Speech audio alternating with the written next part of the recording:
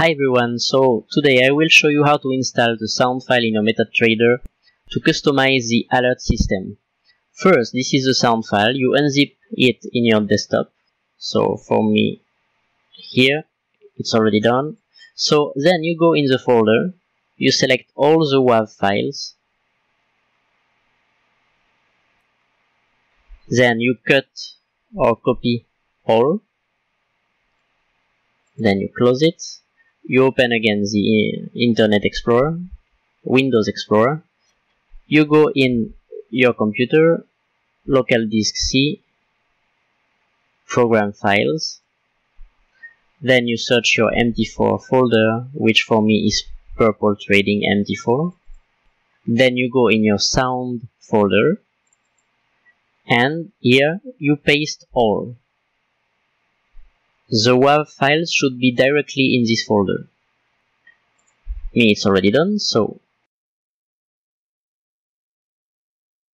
now that I shown you how to install the sound files in your MetaTrader folder, let's see how it works and how to put an alert using the sound file to never miss a trade or a setup. Open your MetaTrader. Here we are. Right click on your screen go to trading and alert. As you can see now, there is a red arrow at this point and if you double click on it, you will have access to the configuration.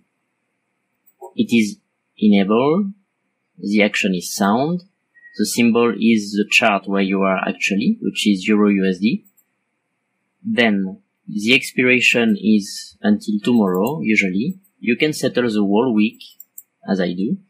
The condition is bid inferior, which means the alert will be triggered when the price will be under this red arrow.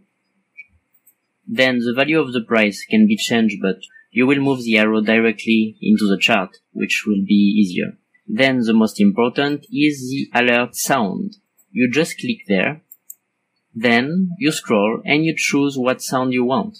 There is buy USD CHF, for example, sell USD CHF, and there is also available USD CHF 1 if it's a 1 minute trade, or USD CHF 5 if it's a 5 minute trade. So for now, I will choose buy Euro USD. And when the price will touch this price, you will hear my voice saying buy Euro USD. Okay to validate it. And then this red arrow, you can move it wherever you want. And when the price is under buy Euro USD, you can hear it is triggered. So it works.